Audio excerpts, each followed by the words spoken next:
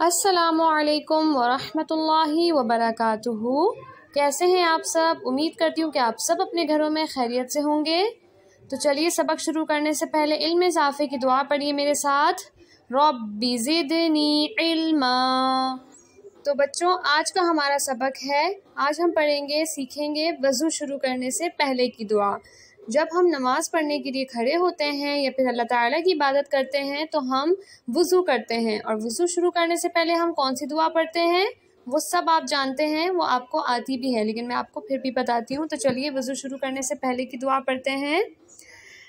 وضو شروع کرنے سے پہلے کی دعا ہے، بسم اللہ الرحمن الرحیم جی یہ تسمیہ جو ہم پڑھتے ہیں ہمیشہ اللہ تعالیٰ کا نام لینے سے پہلے، بسم اللہ الرحمن الرحیم، یہی وضو کرنے سے پہلے کی دعا ہے۔ تو یہ تو بہت آسان ہے، آپ سب کو آتی ہے۔ تو جب بھی آپ وضو کریں گے، وضو شروع وضو شروع کرنے سے پہلے آپ یہ دعا لازمی پڑھیں گے۔ ٹھیک ہے بچوں؟ فی امان اللہ السلام علیکم۔